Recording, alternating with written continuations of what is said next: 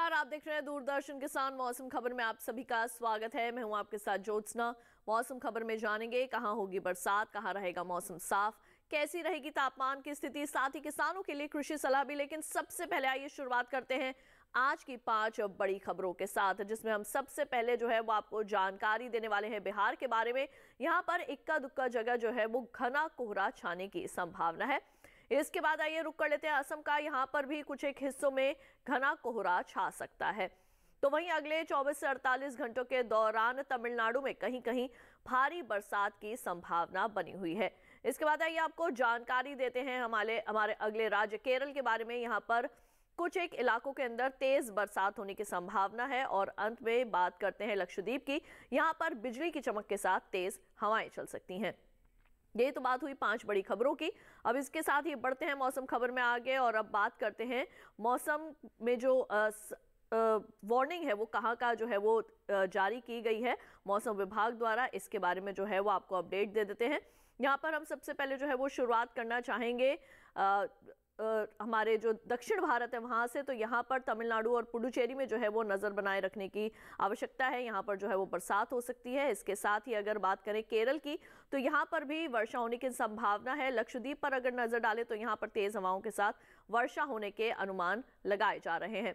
पूर्वोत्तर भारत में नागालैंड, मणिपुर, मिजोरम और त्रिपुरा के अंदर जो है वो घना कोहरा छा सकता है और बिहार में भी घने कोहरे की चादर देखी जा सकती है।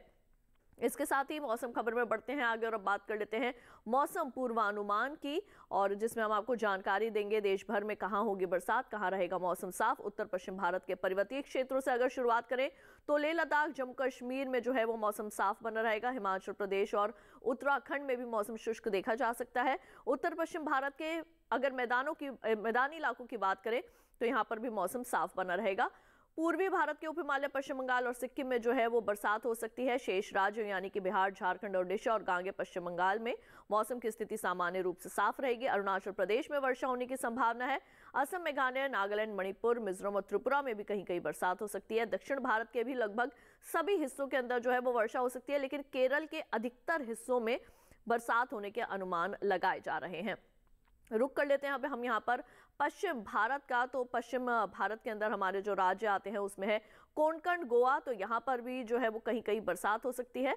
मध्य महाराष्ट्र मराठवाड़ा में मौसम साफ़ बना रहेगा। गुजरात सौराष्ट्र कच्छ में भी धूप खिली रहेगी। मध्य भारत के पश्चिमी मध्य प्रदेश में कहीं कहीं वर्षा होने की संभावना है। पूर्वी मध्य प्रदेश छत्तीसगढ़ और विदर्भ में जो है मौसम शुष्क रहेगा। अब आइए मौसम खबर में बढ़ते हैं। आगे मौसम की चाल की अगर आपको जा, जानकारी दे तो उसमें हम आपको बताएँगे कि पिछले 24 घंटों के दौरान बिहार, झारखंड और ओडिशा में जो है वो बरसात हुई है तो वहीं पूर्वोत्तर भारत के लगभग सभी राज्यों, यानी कि अरुणाचल प्रदेश, असम, मेघालय, नागालैंड, मणिपुर, मिजोरम और त्रिपुरा में भी पिछले 24 घंटों के दौरान वर्षा देखने को मिली।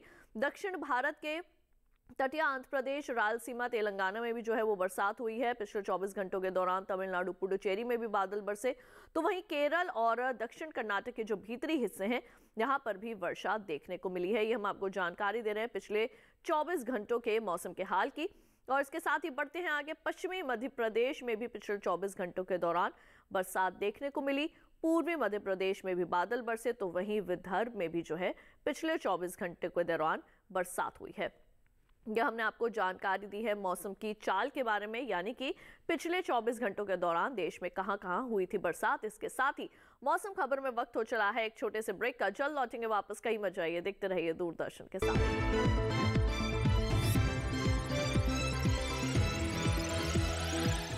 रोज सब्ज़ी का स्वाद बढ़ाए और घर वालों का प्यार पाए। गोल्डी सब्ज़ी मसाले। जहाँ जाए रिश्ते बनाए मसाले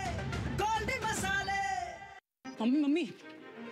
कॉलेज की क्रिकेट टीम में ना मेरा सिलेक्शन हो गया वेरी गुड कॉलेज की टीम में तो आ गया। देश की टीम में रजिस्ट्रेशन कब करवा रहा है? वो कैसे? तुम वोटर बन के देश की टीम का हिस्सा बन सकते हो। देश का फॉर्म भरो देश की टीम का हिस्सा बनो। वोट करना सिर्फ़ तुम्हारा अधिकार ही नहीं बल्कि तुम्हारा कर्तव्य भी है। समझे? जी हाँ। अगर आप भी 18 साल के हो रहे हैं तो आज ही वोटर हेल्पलाइन ऐप डाउनलोड करके वोटर लिस्ट में अपना नाम जुड़वाकर वोटर बने। और हाँ एग्जिस्टिंग वोटर्स भी अपनी जानकारी वोटर लिस्ट में अपडेट करें, जिससे देश की टीम और मज़बूत बने। वोटर लिस्ट में नाम मतलब देश के लिए वोट करने का अधिकार, यानी देश की टीम में रजिस्ट्रेशन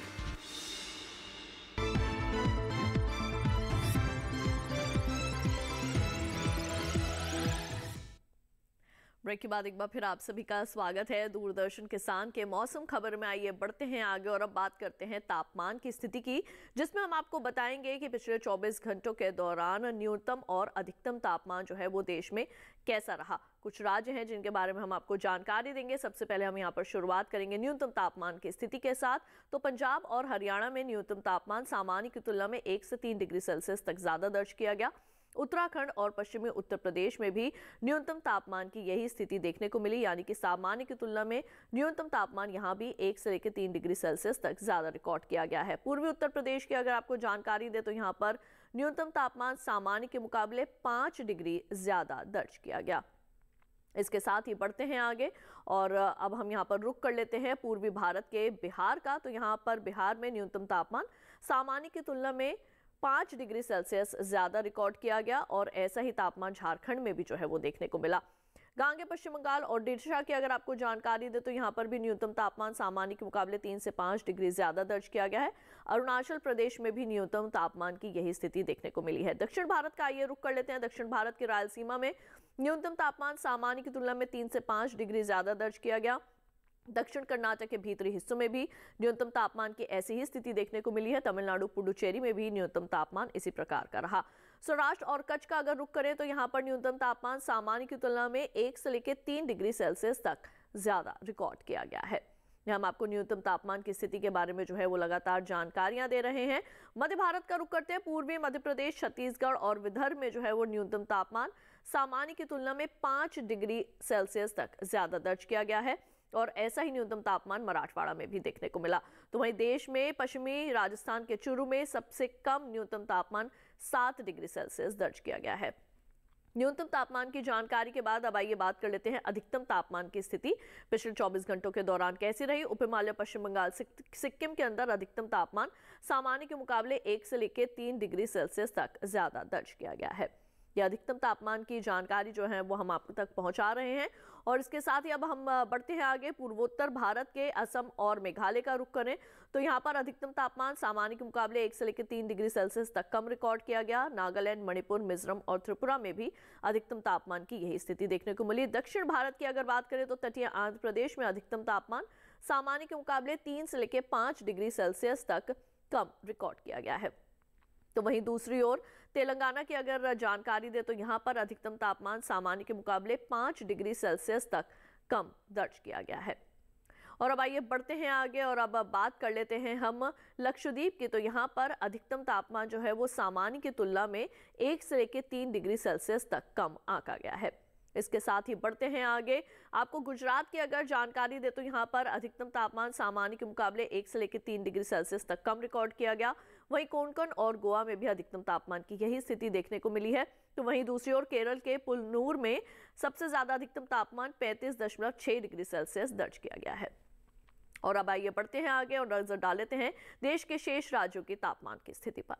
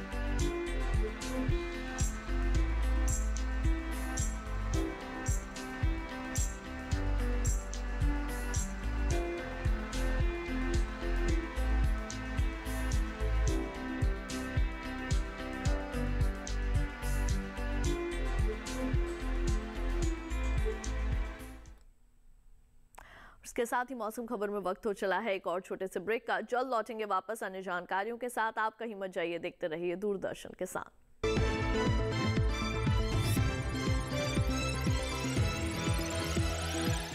रोज सब्ज़ी का स्वाद बढ़ाए और घर वालों का प्यार पाए। गोल्डी सब्ज़ी मसाले। जहाँ जाए रिश्ते मसाले मिलिए ग्रो प्लस से हमारा भरोसेमंद कोरोमंडल लेकर आया है। एक खास तकनीक वाला पाँच पोषक तत्वों से भरा ग्रो मोर ग्रो प्लस इसे इस्तेमाल करने से पौधों को मिले अधिक पोषण, जिससे न केवल आपको बम्पर फ़सल मिले, बल्कि मिट्टी भी स्वस्थ और उपजाऊ बने। क्यों न इस बार आप भी ग्रो प्लस अपना एक अनमोल तोहफा जो बनाए मिट्टी को सोना और फ़सल को बेमिसाल। कब तक लंबी लाइनों में उम्र बिताइएगा। Digital payment अपनाइए। में हल पाइए। पुराने तरीके कब तक अपनाइएगा? डिजिटल पेमेंट बहुत आसान है देखिए। चुटकी में पेमेंट चुका। बटुआ टूल रहे। डिजिटल पेमेंट अपनाइए। कभी भी कहीं भी और सुरक्षित। हमने तो इन्हें डिजिटल पेमेंट करना सिखा दिया है। आपने आरबीआई कहता है कि डिजिटल पेमेंट अपनाओ। औरों को भी सिखाओ।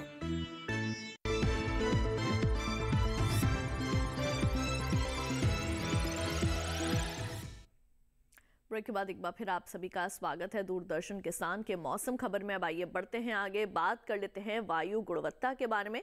यानी कि वायु गुणवत्ता सूचकांक के आधार पर कौन कौन से ऐसे राज्य हैं जहाँ पर जो वायु की स्थिति है वो किस तरीके की रिकॉर्ड की गई है। शुरुआत करेंगे राजधानी दिल्ली के साथ। यहाँ पर वायु गुणवत्ता सूचकांक के आधार पर तीन है वायु की स्थिति, जो कि थोड़ी खराब स्थिति में रिकॉर्ड की जा सकती है। इसके बाद बात आती है लखनऊ की 217 है यहाँ पर। ये भी थोड़ी खराब स्थिति में दर्ज किया जा सकता है। बढ़ते हैं आगे और अब हम बात कर लेते हैं हमारे अगले शहर, पटना की अट्ठानवे है। यहाँ पर जो वायु की स्थिति है, ये थोड़ी सी अच्छी स्थिति में देखी जा सकती है, यानी कि यहाँ पर जो प्रदूषण का स्तर है वो थोड़ा कम है। सड़सठ जो है बेंगलुरु की रिकॉर्ड की गई है, ये भी एक अच्छी स्थिति में देखी जा सकती है। इसके साथ ही बढ़ते हैं आगे, पुणे की अगर बात करें तो 78 यहाँ पर दर्ज की गई है, इसको भी एक अच्छी स्थिति में देखा जा सकता है। और अब बात कर लेते हैं हमारे अगले शहर, यानी कि हैदराबाद के बारे में। पिचासी यहाँ पर जो है वो रिकॉर्ड की गई है वायु गुणवत्ता सूचकांक के आधार पर। वायु और ये भी एक अच्छी स्थिति में देखने को मिल सकती है। कोलकाता की बात करें तो यहाँ पर है छियासठ, ये भी एक अच्छी स्थिति में दर्ज की गई है। और इसके साथ ही जो है हम बढ़ते हैं आगे, बात कर लेते हैं मुंबई की। 146 है यहाँ पर, ये एक संतोषजनक स्थिति में इसको देखा जा सकता है, यानी कि यहाँ पर थोड़ा प्रदूषण का स्तर जो है, थोड़ा बहुत बढ़ा हुआ है। दो सौ उनतालीस है अहमदाबाद की, ये थोड़ी सी खराब स्थिति में आती है, यानी कि यहाँ पर प्रदूषण का स्तर काफ़ी जो है वो बढ़ा हुआ है।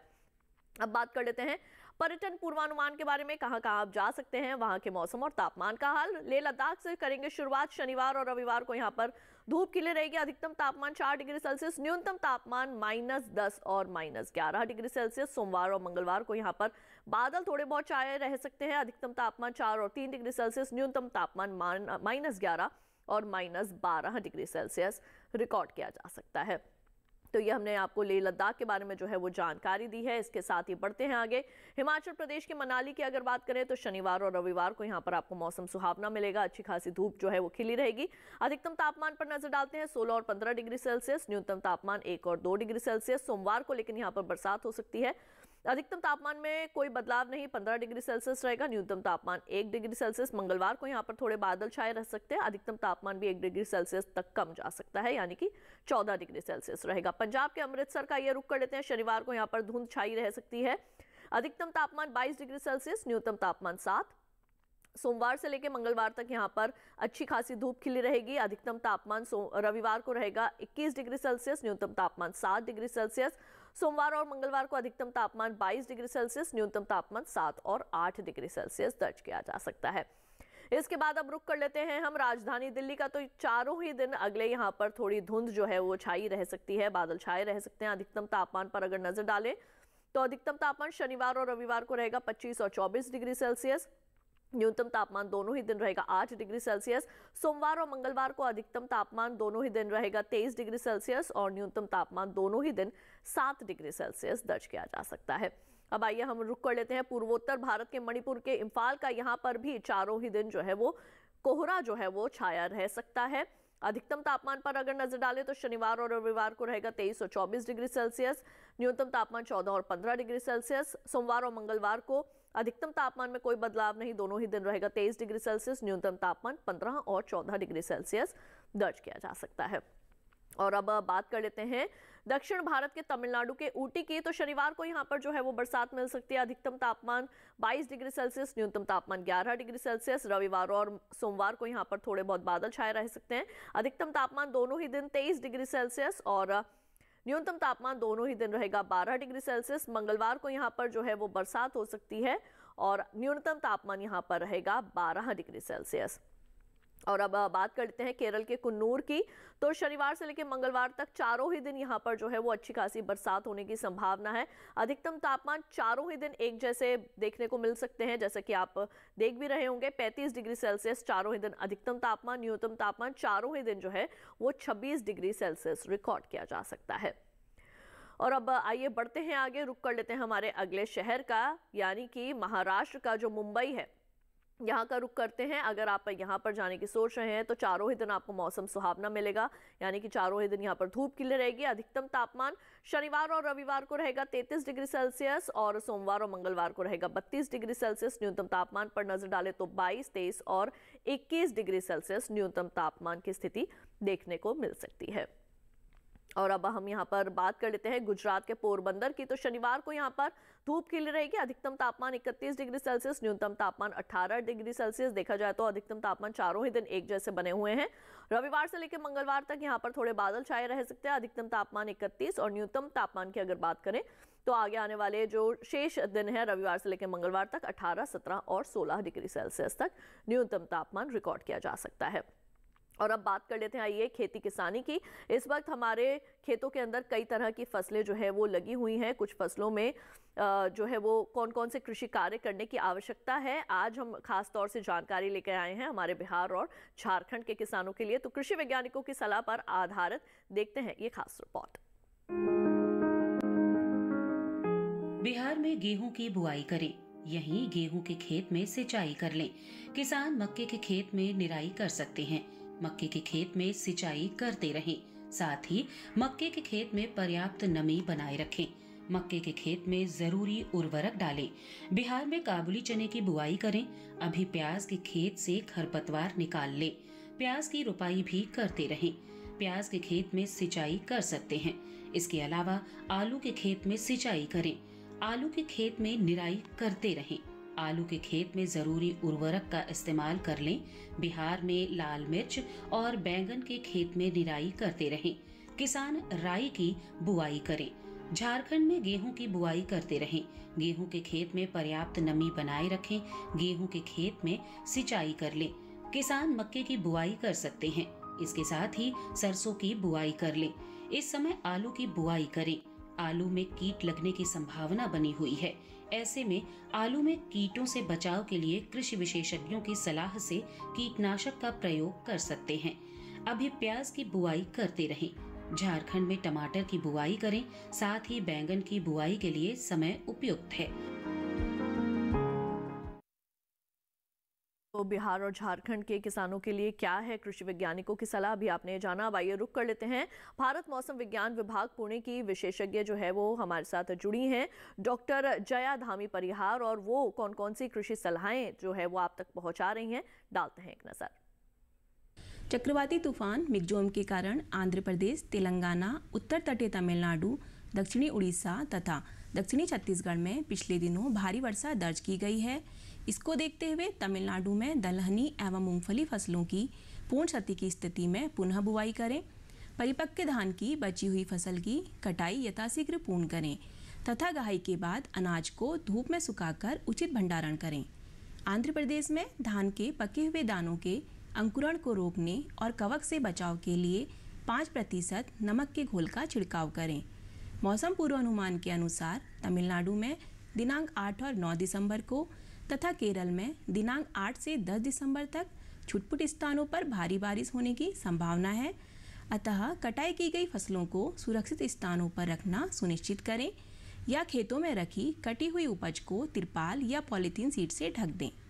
जल जमाव से बचने के लिए खेतों में जल निकासी की उचित व्यवस्था सुनिश्चित करें। केरल में तेज हवाओं के चलने की संभावना को देखते हुए केला व टमाटर जैसी कोमल तने वाली फ़सलों को सहारा प्रदान करने की सलाह भी दी जाती है। कर्नाटक में धान, मिर्च, मूंगफली और जल्दी बोई गई अरहर की फ़सल की कटाई तथा कॉफ़ी के फलों एवं कपास की तुड़ाई करें। इसके साथ ही कम अवधि वाली दालों जैसे कुल्थी, मूंग या उड़द की बुवाई करें। जल्दी बोई गई ज्वार की फ़सल इस समय दाना भरने की अवस्था में है। अतः दानों के समुचित विकास के लिए फ़सल को कम से कम एक या दो सुरक्षात्मक सिंचाई प्रदान करें। उड़ीसा में धान फूल गोभी पत्ता गोभी की कटाई तथा कपास की तुड़ाई करें। साथ ही रबी मक्का तथा मूंगफली की बुवाई भी कर सकते हैं। पश्चिम बंगाल में गेहूँ की बुवाई करें। रबी मक्का एवं चना, मसूर और सरसों की बुवाई का कार्य भी पूर्ण करें। तटीय क्षेत्रों में बोरो धान की नर्सरी बुवाई करें। झारखंड में चने की उन्नत किस्मों की बुवाई के लिए खेत तैयार करें एवं शीतकालीन सब्जियों की नर्सरी बुवाई या रोपाई पूर्ण करें। इसके साथ ही मटर, चना, मूंग और कंद आदि फ़सलों की बुवाई भी कर सकते हैं। तो अभी आपने डॉक्टर जया धामी परिहार से जाना कि हमारे देश के बाकी के हिस्सों में कौन कौन से राज्य ऐसे हैं जहाँ पर कृषि कार्य करने की आवश्यकता है। इसके साथ ही आइए बढ़ते हैं अगर और बात कर लेते हैं आज की फ़सल की। किसान भाइयों बहनों आज हम आपको जानकारी देने वाले हैं धनिया फ़सल के बारे में। जी हाँ इस वक्त धनिया की बुआई का जो है वो समय चल रहा है। धनिया का इस्तेमाल दो तरीके से किया जा सकता है। पत्ती और उसके बीज के रूप के अंदर। तो किस तरीके से आपने करनी है धनिया की बुआई? कौन सी अच्छी किस्म है जिसका आप चयन कर सकते हैं? आइए तमाम जानकारियाँ हासिल करें कार्यक्रम के इस भाग में। धनिए की खेती के लिए दोमट मिट्टी सबसे अच्छी मानी जाती है। इसे अच्छे जीवांश युक्त भारी भूमि में भी उगाया जा सकता है। खेत में जल निकासी का उचित इंतज़ाम ज़रूरी है। बोने से पहले खेत को अच्छी तरह जोत ले और मिट्टी को भुरभुरा बना ले। साथ ही मिट्टी को समतल कर ले। आखिरी जुताई में 100 से 120 क्विंटल प्रति हेक्टेयर की दर से गोबर की खाद मिला दे। बीज की मात्रा बुआई और सिंचाई की दशा पर निर्भर करती है। सिंचित दशा में 12 से 15 किलो बीज प्रति हेक्टेयर डालें, जबकि असिंचित दशा में इतनी ही ज़मीन के लिए 25 से 30 किलो बीज की ज़रूरत होगी बोने से पहले बीज को उपचारित ज़रूर कर ले साथ ही बुआई से पहले बीज को 12 घंटे पानी में भिगो कर रखें। कतार से कतार की दूरी 20 से 30 सेंटीमीटर, जबकि गहराई 2 से ढाई सेंटीमीटर रखें। पूरी फ़सल में चार पाँच सिंचाई की ज़रूरत होती है पहली सिंचाई बुआई के 30 से 35 दिन बाद दूसरी 60 से 70 दिन बाद, तीसरी 80 से 90 दिनों के बाद और चौथी 100 से 105 दिन बाद करें। पहली सिंचाई के बाद निराई गुड़ाई करके खरपतवार निकाल दें। एक माह बाद फिर से निराई गुड़ाई करें। खरपतवार की रोकथाम के लिए विशेषज्ञों की सलाह पर उचित दवाओं का छिड़काव करें। धनिये में उकठा रोग, चुर्निल आसिता रोग हो सकता है इसे ग्रामीण भाषा में दहिया भी कहा जाता है। रोकथाम के लिए रोग अवरोधी प्रजातियाँ बोकर भी बीमारियों से बचा जा सकता है। फ़सल चक्र अपनाना भी बेहतर रहता है, लेकिन किसान इस बात का ध्यान रखे कि फ़सल में किसी भी तरह की दवा का छिड़काव करने से पहले कृषि विशेषज्ञों की सलाह ज़रूर ले। पूरी फ़सल होने पर पत्तियों की तुड़ाई सावधानी से करें। ध्यान रहे तोड़ते समय पत्तियाँ बर्बाद ना होने पाए। एक हेक्टेयर ज़मीन से 125 से 140 क्विंटल तक हरी पत्तियाँ ली जा सकती है।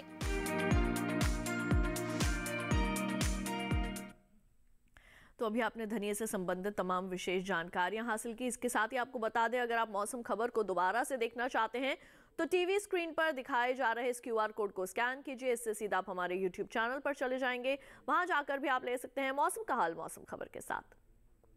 तो आज के लिए मौसम खबर में बस इतना ही। उम्मीद है मौसम खबर से आप सभी को मदद मिल रही होगी। मौसम का ताज़ा हाल और कृषि सलाह लेकर फिर होंगे हाजिर।